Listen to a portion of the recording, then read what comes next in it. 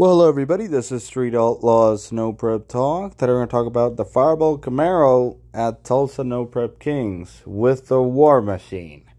Now, photo goes directly to the photo owners. Please subscribe and comment and stay tuned for a lot more videos coming.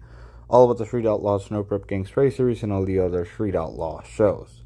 So, this photo right now comes from Street Outlaws Stat Guy. That it, he is at the Tulsa NPK event.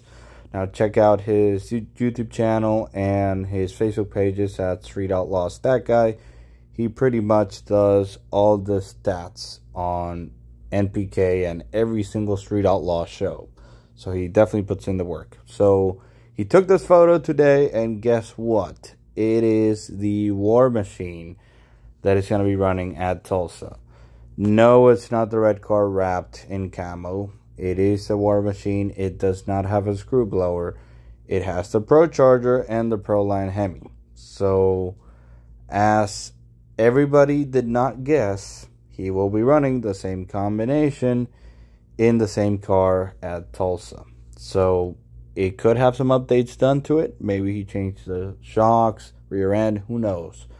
He probably made some chassis updates or something, but it's still the same Pro Charge Hemi combination and it is still the gray car wrapped with a camel look so it is the war machine. Now he was testing the red car not so long ago so he might bring out the red car at some point if this doesn't really work out. But for now the war machine will be running on npk now birdman is ready with his new twin turbo setup that star fabrications built him so I'm seeing a lot of comments saying that Birdman would dominate with the twin turbos. So he finally has the twin turbos back. Let's see how he does today.